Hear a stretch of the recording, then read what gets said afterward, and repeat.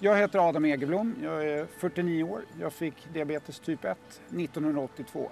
Då var jag 8 år. I vardagen, förutom att jobba som alla andra, så tränar jag mycket. Jag har hållit på med tävlingssimning i 21 år.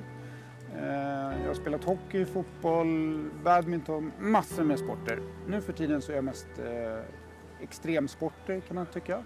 Jag ville bli brandman eh, när jag var ja, från 15 års ålder ungefär. Men jag fick inte bli brandman fick jag reda på när jag sökte för att jag hade diabetes. Men jag måste tänka på vad jag äter hela tiden.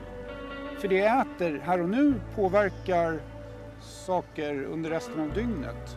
Och det jag gör nu påverkar också hur mycket jag måste äta. Och det, det är jättemycket olika aspekter. Jag har sett en lista på, jag tror det är 42 olika saker som påverkar blodsockret. Det är dags att dela med oss från våra liv med typ 1-diabetes.